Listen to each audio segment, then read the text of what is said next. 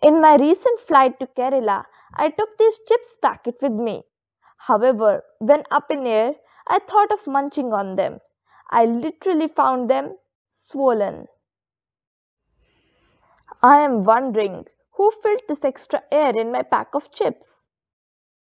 Hello everyone.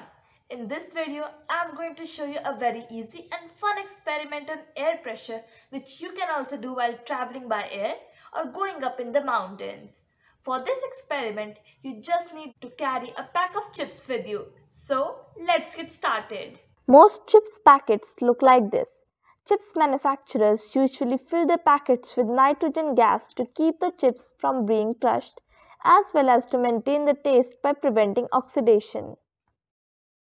When you reach up in the air, you will notice that the pack of chips is literally ready to pop at any weak moment.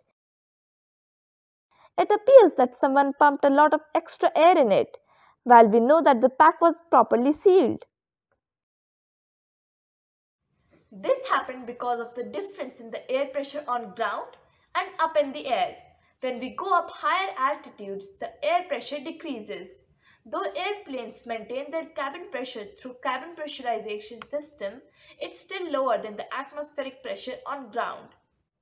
The gas in the chips packet was filled on ground.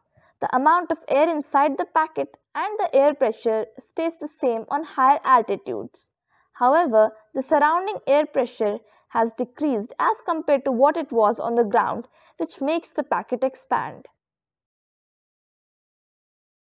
You can even close an empty plastic bottle on higher altitudes and bring it down to see that it would appear crushed. I hope you enjoyed this video where we discussed science in real life. If you did, like, comment and share this video with your friends and classmates. And don't forget to subscribe my channel.